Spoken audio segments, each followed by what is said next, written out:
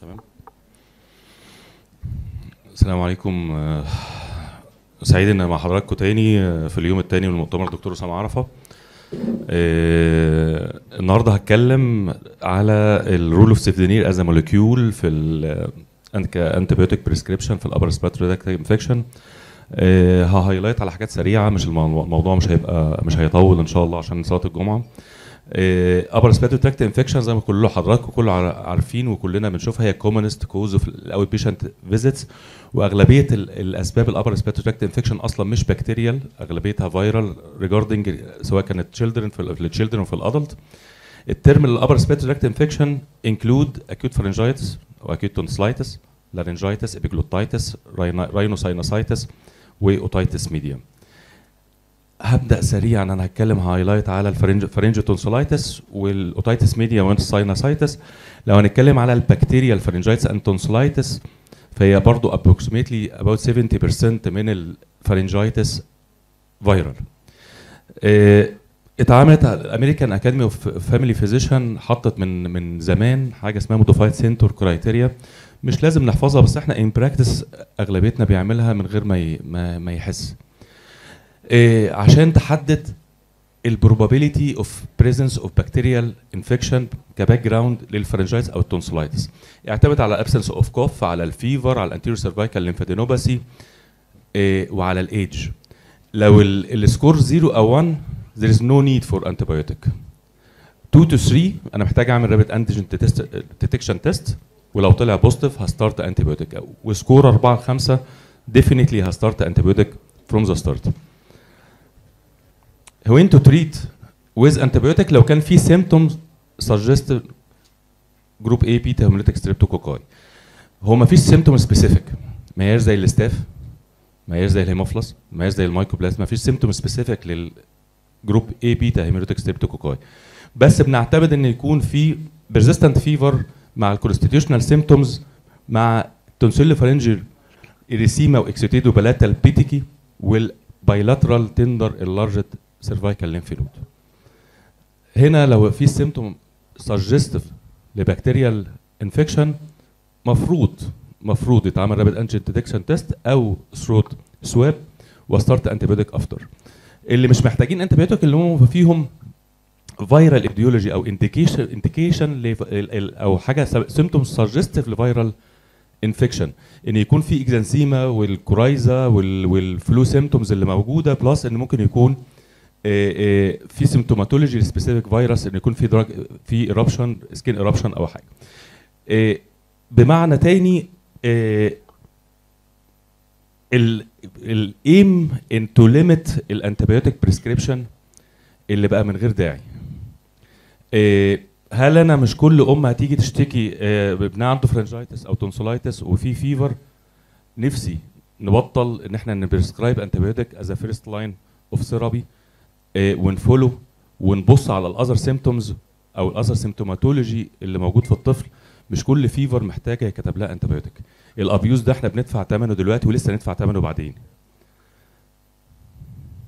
ال first line therapy طبعا البنسلين و- وال cefdinir بيظهر ك alternative therapy في ال pharyngitis ال American Academy of Family Physician برضو عملت report سنة 2016 على common questions أنا كان عايز highlight بس على ال terminology بتاع ال recurrent group A beta hemolytic streptococci pharyngitis دي by definition إن يحصل repeated infection within 30 days من ال initial illness وطبعا دي common طبعا دي common جدا عندنا ويمكن ما بيعديش 30 يوم كمان يعني خلال 2 weeks كمان وبيظهر نفس ال attack تاني. غالبا غالبا بيبقى non compliance على ال antibiotic therapy اللي اتكتب في أول مرة. مفروض ال amoxiclav هو ال هو ال هو اللي بيبقى first line ك indication لل recurrent ال infection بس ال- المهم إن أنا لو بدأت أول مرة اديت first generation cephalosporin ف ك initial treatment فيفضل استخدام ال cefdinir في ال treatment of recurrent infection عشان هو broad spectrum بي cover gram negative و gram positive بكتيريا دي study اتعملت سنة 2009 قارنوا بين ال- ال- ال- ال- ال cefdinir وال amoxicillin alone في حالات طبعا ال pharyngotonsillitis وكان ال conclusion إن ال fever was reduced وحصل eradication لل organism more rapidly from children treated with cefdinir compared with amoxicillin alone. Another study comparing ال cefdinir مع البنسلين برضه في نفس ال patient وكان ال study design كانت على large scale من ال patient كانت حوالي 2750 child وكان ال conclusion بتاعها إن ال cefdinir for 5 or to 10 days كان له higher clinical cure microbiological eradication rate comparing with penicillin for 10 days. acute bacterial sinusitis ال ال الغريب إن أغلبية ال rhinosinusitis مش محتاجة antibiotic even لو symptoms persisting for 10 days. Even لو symptom persisting for 10 days. ف ال definition بتاع أو ال diagnosis بتاع ال acute bacterial rhinosinusitis ما ينفعش يتعمل إلا مع persistence of symptoms ك nasal blockage أو daytime cough that persist for more than 10 days. أربعة symptoms يبقوا موجودين مع بعض. عشان أبدأ أفكر إن في bacterial etiology موجود إن يكون ال discharge purulent في facial أو maxillary pain unilateral ودي ودي ودي ودي مميزة جدا unilateral maxillary sinus tenderness في اطفال أصلا بتيجي تشتكي منها. وآخر حاجة إن يحصل worsening لل symptoms after initial improvement اللي إحنا بنسميها ال double sickening يمكن أنا من my experience المتواضعة ال double sickening ده أكتر حاجة بتخليني أعرف إن البكتيريا بدأ يبقى لها role و on the time for antibiotic prescription اللي ما يحصل double sickening الطفل يبدأ. rhinorrhea والأم تقول إن هو يومين ثلاثة وبدأ يتحسن وبعد كده ال discharge يبقى purulent الطفل يبدأ يبقى feverish ويبدأ ممكن يشتكي من ال maxillary pain and tenderness when not to treat أغلبيتهم إحنا قلنا بي resolve without antibiotics وال antibiotic should be reserved لل severe cases هنتكلم عليها دلوقتي وال moderate cases not improving after 10 days أو حصلت double sickening اللي إحنا اتكلمنا عليه. آه طبعا ال commonest organism هو ال Haemophilus influenzae non-typeable وال strept pneumoniae وال Moraxella catarrhalis. first line therapy amoxicillin وطبعا ال antibiotic therapy في ال rhinosinusitis لو هكتبها هكتبها for 10 days وبرضه يظهر ال cefdinir كذا as ال alternative بالأخص في حالات ال penicillin allergy failure to response معناه إن أنا محتاج أغير ال antibiotic وأحيانا طبعا ساعتها هتبقى ده دور ال ENT مش دوري إن أنا لو الطفل not responding ال antibiotic بلاش أطول معاه عشان ما يحصلش مشاكل. ده دور إن هو تبقى referred لل ENT ممكن يعمل sinus aspiration ويعمل culture ونحدد ال specific antibiotic اللي محتاج. ال IDSA أو ال Infectious Diseases Society of America وال American Academy of Pediatrics وال American Academy of Otolaryngology حطوا guidelines أو updating لل guidelines في ال treatment of acute sinusitis in adult and children سنة 2019 وقسموها لثلاثه groups severe worsening و persistent ال severe يعتمدوا اعتمدوا على ال fever high grade fever more than 39 degree plus إن يكون في purulent nasal discharge أو maxillary pain أو tenderness for more for 3 consecutive days. ثلاث أيام متواصلة. عشان أحط العيان في ال category severe worsening إن يحصل new symptoms أو worsening لل symptoms after initial improvement وغالبا طبعا بيكون في upper respiratory infection lasting for more than 7 days.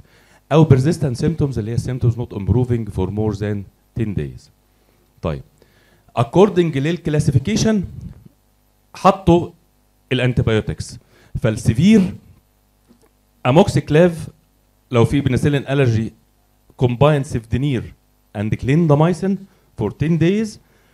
و ك secondary antibiotic لو أنا بدأت بال amoxiclav وال patient لسه not responding برضه ال cefdinir plus الكلاريسيز ال clindamycin وال doses بتاعته موجودة قدام حضراتكم.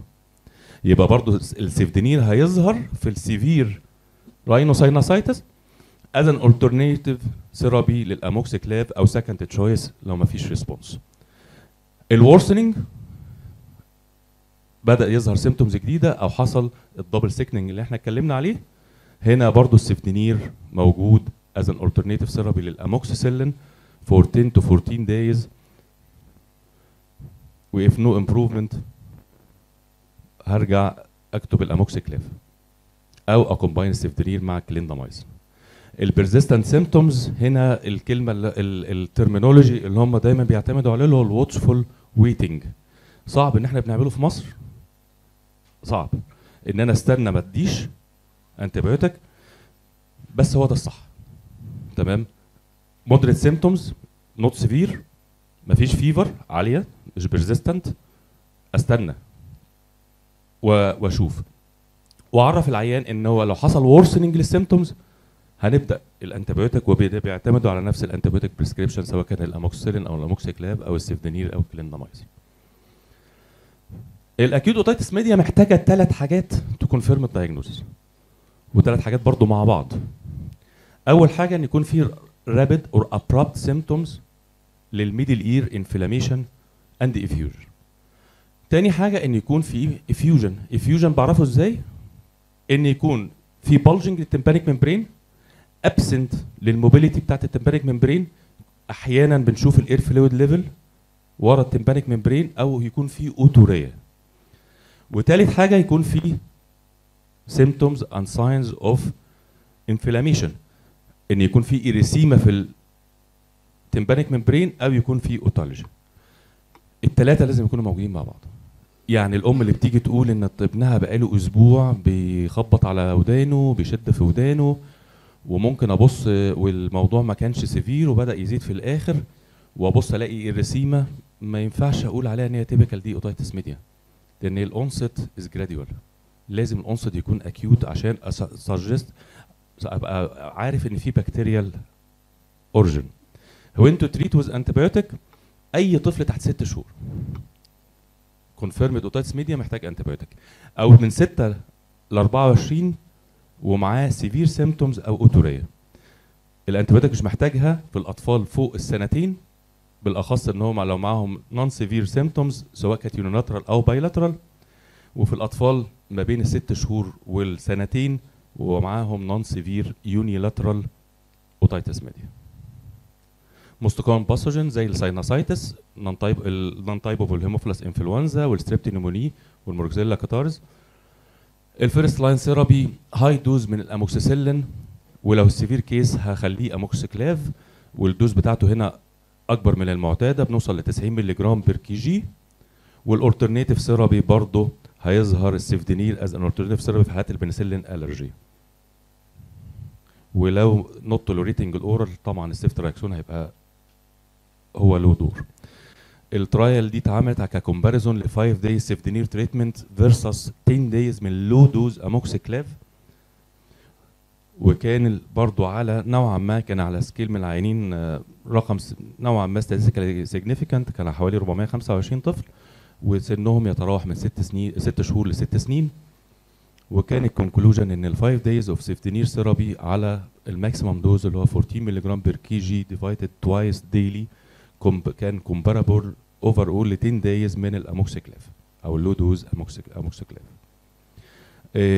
في النهاية طبعا أنا بس عايز برضه ن highlight اللي حضراتكم كلكم عارفين ال palatability بتاعت ال- ال molecule نفسه versus ال amoxiclav و versus ال azithromycin وما أعتقد إن أغلبية الأطفال ما حدش واجه إن لو prescribing ال cefdinir يعني ال molecule نفسه واجه ان إن الأم بتشتكي إن ال palatability أو ال compliance معاه مش كويس. And thank you. أنا وأنا جاي